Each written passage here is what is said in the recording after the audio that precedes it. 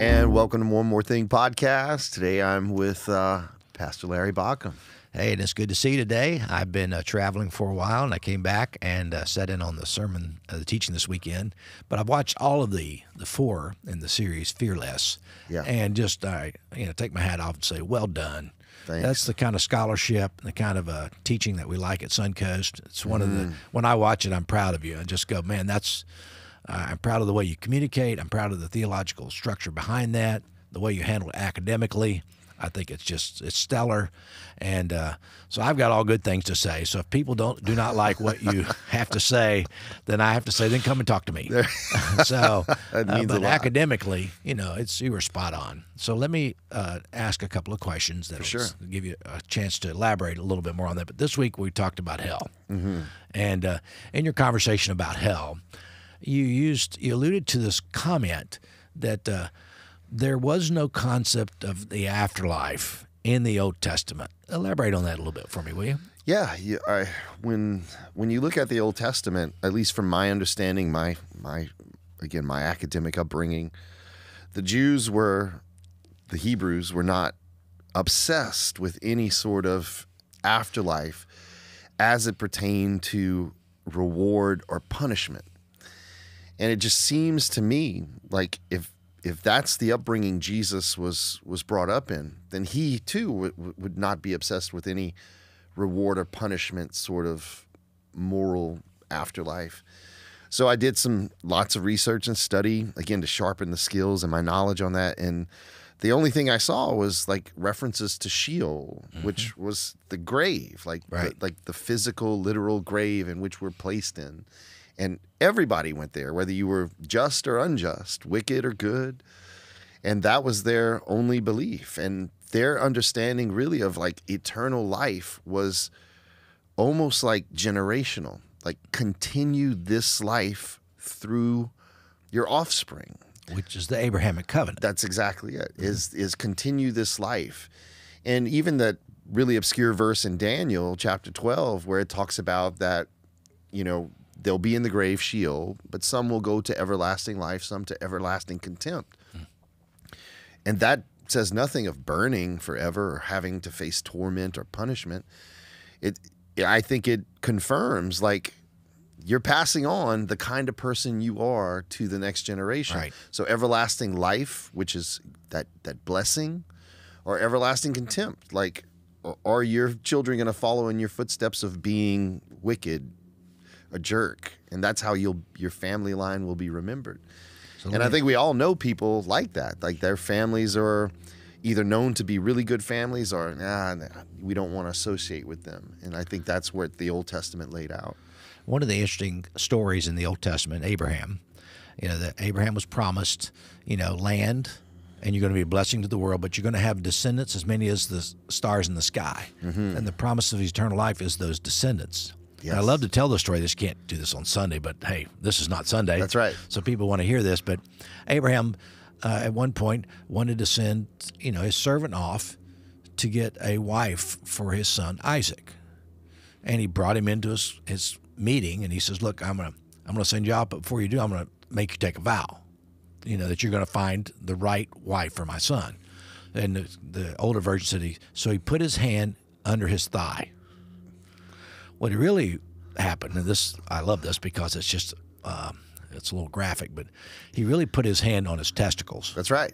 and your testicles and make a testi- testify testa That's exactly this? right. and you you make this vow and this oath and what he was really saying all my future descendants are in your hands now make swear to me a vow that you're going to protect what's in your hands by finding a wife for my son uh, and I think that is part of the concept of afterlife. And you handle that masterfully. And uh, somewhere in the intertestamental period, there were some other things that kind of filtrated right. in, you know, about you know Second Temple period. Yes, yeah. and that whole thing. But that came much later. But in the in the Old Testament, you, I I would say to that statement, there was no concept of this heaven or hell Yes. as we hear today in evangelical Christianity. That's not in the Old Testament at all. Not at all. And it, you see that in the that intertestamental period, you know, where we say between Malachi and Matthew, right? Yeah. Eh, you know, that blank page in our Bible. that's when Hellenistic culture, the Greek culture, the Roman culture really influenced a lot of Judaism. And they took on much of their theology, you know, regarding the gods. And but you see it in Genesis 1 too. Like how could you not have Egyptian ideas of creationism Right. In influence the story that is told in in the first chapter of Genesis? It's deeply Egyptian. Yeah. But you would expect that, you Yeah. know. And one of the things I I- went to Egypt once once upon a time, and uh, traveling down to those temples, to where the early Christians AD seventy, when they were kicked out of Jerusalem. We're not going to the Hamas today, but they're kicked out of Jerusalem. Israel was in AD seventy, never to appear back as their homeland until 1948. So just to let you know, it's a long time that it wasn't your homeland. That's right. And that's where these other people lived, including those called Palestinians. But That's right. but they went south, and they the early church. When I went in these temples, I saw these because they were vacant. They weren't. were but the influence of the Egyptian temples on early Christianity, with pictures of uh, of a goddess with the who had a baby, and she was a virgin. Oh, wow. And this baby, she's nursing this baby, and they have a halo over their head, much like Wow. the Renaissance art. And you see these pictures, and you go, "This strongly influenced early Christianity, as did the concept of of uh, afterlife in Egyptian afterlife." The, you know, there's a balance and a scale. That's right. And your sins have to be as light as this feather, or you'll never be able to live in the afterlife.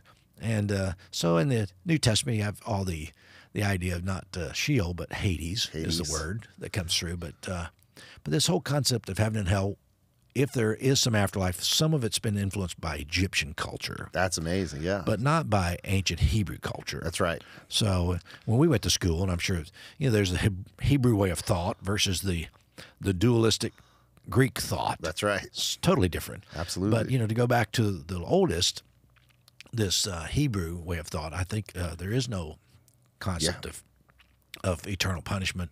There is no concept of of eternal life. That's right. So we get to the New Testament, and we find uh, life is very much a theme. But then again, there's a lot of Egyptian influence there about life and afterlife. That's right. But today, I, I I find it easy to give up on eternal damnation. But what I find it difficult to give up on is there something more in the afterlife for me. Mm-hmm. Does that make sense? So it's okay to I'm okay to let hell go, Yes. but I I I don't think either one of us are let, willing to let go that there is something Beyond. beyond Yeah. to where our spirit merges with the spirit of God that's all around us. That's that same spirit of, of Christ Yes. that still dwells, the Logos That's right. uh, that I think could take us on. But but when you laid that out so well this weekend, I mean, I thought you had your professor hat on. you went logic step one, step Yeah. two, step three, and I just thought masterfully done. I Thank mean, you. Thank you. well done. And then I went back a few weeks and saw some of the other stuff that you've you know that you've taught, and how this series of Fearless is taking people out of um, traditional thoughts and challenging them. Yeah. Why would you want to challenge it?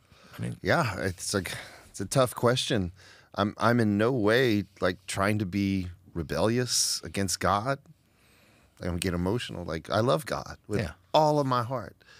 With all of my heart, I try my best to follow Jesus every day. And it's my deepest desire to see others do that. And I see all of these obstacles, all of these obstacles that have been man made, that have been forged by fear mm-hmm. and not by faithfulness. right? And it's like God just commanded me, like through my own, you know, through through my education. That's the way God works, right? Right. God influ- he, he nug- nudges us along.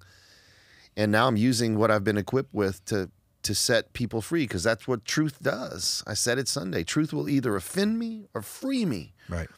and it doesn't free me to live this this life of license to just do whatever I want to be wicked and know that I don't go to hell. Like the, it, it has never crossed my mind to do those sorts of things that I've let go of that concept of eternal damnation.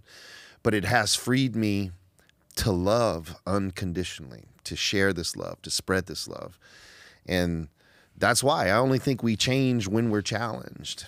And that's my whole objective is to speak truth, you know, truth in love, but also truth to power. And that power that's sort of coercive and manipulative. And I'm just I'm done with it, Dr. Bach. I'm like I'm done with that sort of religious way of conversion. I want Jesus's way of transformation. Right. So, what do you think if we don't come out and talk about this today? Where do you think Christianity, as we've grown up with, a more traditional fundamentalist Christianity, where do you think it's headed? It's it's gonna die on the vine. It's gonna die on its own vine. So, tell me about the email. Yeah. Just got. So you know, before coming in to shoot, um, we we got an email from a guy who's been visiting a couple of weeks, came for this particular series, and was invited by you know one of our our typical you know our, our sun coasters has been a part of this community forever. And he had given up on church, and he was pretty adamant to his friend, like, "Hey, I'm glad you found a church that you love, but I'm just not going to church. Like, church has hurt me. One of his sons had come out as being gay, and um, there was some some pain that was enveloped there through the traditional religious orthodox teaching of you know, fundamental Christianity. And Jay was just like, "You have to come check this out. Right. This new series is really going to challenge those old ways of thinking." And he came, and he loved it, and he felt that freedom. That man, God does love me. God loves my son. There's no condemnation in us being who we are. And when you read an email like that, it just man, it just makes you feel like if if if that one person, it was worth it for just that one to experience the true love and the nature of what God is and how God works in the world. And so I forwarded it to to all, all of our leadership team and said, "Hey, this is why we do what we do." Because we can we can forget sometimes. We get lost in the you know, because we have pretty set schedules in what we do when we film and what we're doing, and and we can get lost in the monotony of church work and forget that we are the church, like we Right. are the called out ones, and everything we do is for that singular purpose to challenge people so that they they are in that transformational mode of becoming more like Christ every day. and creating an environment where people can say, I'm not offended by this. Yes. This makes sense. And sometimes logic or common sense, not too common anymore. How would you respond to this comment? This is years ago, before Yep. you got here. The guy that was a youth pastor, I was talking to him, he goes, I go, but you know, you know, as a father loves a son, you love your son. And he said, Yes, and my son is going straight to hell. Hmm. Because he is not doing what he should be doing and he's going straight to hell. This is a youth pastor. And his son is kind of a bright guy, you know, in dialogue with my son. They're having a pretty good conversation. But his dad was like, Nope, Yeah. to hell you go. How, how what damage do you think that does to, to other people when we talk like that? it's it's it does almost irreparable damage to our our mind to to how we feel about ourselves and because again I, I don't know the guy or his son but i would assume his son's not a bad kid by any Correct. stretch probably disagrees with his dad on certain theology which is all speculative anyway um, but you know nietzsche said it the best he says sometimes um, the the the best people in the world have all the doubts, and the worst people in the world have all the certainty. Yeah. And that's just not how our community is fixed. It's okay to have doubts. The enemy of faith is not doubt. Right. The enemy of faith is certainty. Right. That is the absolute opposite. And and that's where that's how I'd respond to that dad. Like, you know, most people want to hold to that view of eternal conscious torment because they've been hurt and there's somebody that they want there. Right. And I'm like, let it go. Yeah. Let it go. But can you imagine? So, if that young adult now, who's the son of this dad, were to come to Suncoast, he might find a whole different perspective and possibly a place to be in community Yes. because the teaching here is so different than that. Absolutely. So, uh, so if a young guy came in like that and said, "Well, this is what my dad said," what would you say to him? Oh, I'd say I, I disagree with your dad, but here's why. Yeah. And I would lay it out for him. Um, it's it's it's like I said, we just had that conversation. Beware the sound of one hand clapping. Dr. Green told me that at Oxford. Beware the sound of one hand clapping. And I would show him there's another way to look at this. There's another way to look at this. I think we change based on two things. Our perspective can change.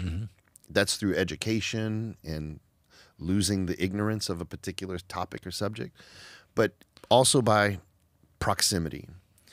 I think proximity gives us the ability to change. When when I may have a certain belief about, say, homosexuality, but then my son comes out as gay. Now I'm, it's not only perspective, it's proximity. I'm I am close to this situation, and those are the things I think God gives us to change our mind. And um, perspective is great, but man, proximity is the greatest. And anytime I see people lose the opportunity to change their mind, in particular about a son who has a different idea about God than his dad, then that's proximity. Now, dad needs to do a little bit of research. And so that's that's how I would I would tell him. I would lay it out like here's the other side of that argument, man, and you're good. Yeah, I, I think the dad may, you know, I would challenge his look at your concept of who God is. Yes. Somewhere you've lost the loving Heavenly Father, Yeah. and there's a punitive uh, deity that's angry and he's out to get you unless you do this specific thing. And you refuted that very well this weekend. So Yeah. I'm just, I want to say publicly, I'm glad you're on our team. Uh, we just came out of a big, oh, an hour plus staff meeting with all the staff after Yeah. Escape the Woods, and and I just marvel at the the creativity, the the the lack of toxicity, the Yeah. fact that we really are kind of like a family within the, within our community, Yeah. but also the all inclusive nature of it, of seeing what people are doing in a variety of ways and realizing that God's kingdom is made up of a lot of different types. That's and, right. Uh, but we have the opportunity to lead them on the weekend. Yeah. And lead them on Sunday. And you just came off of four weeks teaching, and I just I just want to say, well done. Thank you for being a part of this team. Thank an you for honor to be here. communicating to our community these great truths. And I was so proud. And uh, glad. And I'm always glad when you get up to teach. And uh, Yeah. and I get the opportunity to come back this weekend, and then you get to be on again, and then maybe yeah. we'll do some tag team stuff. But it's it's a lot of fun. So for those of you watching, thank you for tuning in to one more thing. Thank you for watching on the weekend. And if you haven't watched each of these fearless teachings, I suggest go back and watch all four of them because Yeah. they are well done. That's coming from me. I didn't teach them, so it's it's it's it's a lot easier for me to say go back and watch Troy do an excellent job then go back and watch me be great. Yeah, yeah. There's a la- lack of humility there, but I think these are wonderful teachings, and it'll help you. Thank and you. if you need, if someone who's watching this, if you know someone who's struggling with the issues of church and concept of God, they can go back and watch these. I think these will come become part of our history and formative teachings for our community, for not just for now, but also as a library and a resource for Yeah. the future. Absolutely. So thank you very much. Awesome. Thanks, Dr. Baucom. My pleasure.